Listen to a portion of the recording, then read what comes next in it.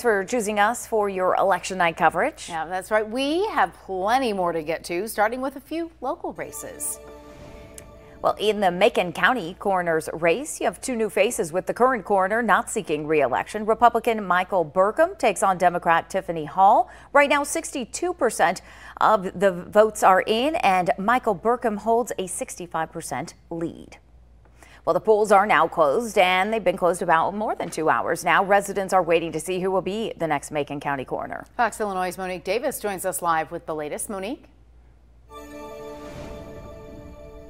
That's right. Ballots started rolling in around 7:30 and Republican Michael Burkham is currently in the lead for the Macon County coroner's position. Burkham currently holds a 30% lead over Democrat Tiffany Hall with 8,381 votes.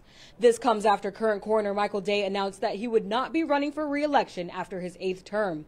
I spoke with both candidates yesterday and Burkham told me he has a lot of business experience from running a family-owned ambulance service. And Hall says her goal is to engage more with the community so you don't only see the coroner when it relates to a negative situation. I spoke with Michael Day on the phone yesterday and he tells me he will be sure to help the winner of tonight's race transition into the position smoothly. Reporting in Macon County, I'm Monique Davis. Thanks, Monique. We're going to check back in with you for more live coverage a little later in the show. Don't miss a video. Subscribe to our YouTube channel today for more Central Illinois news.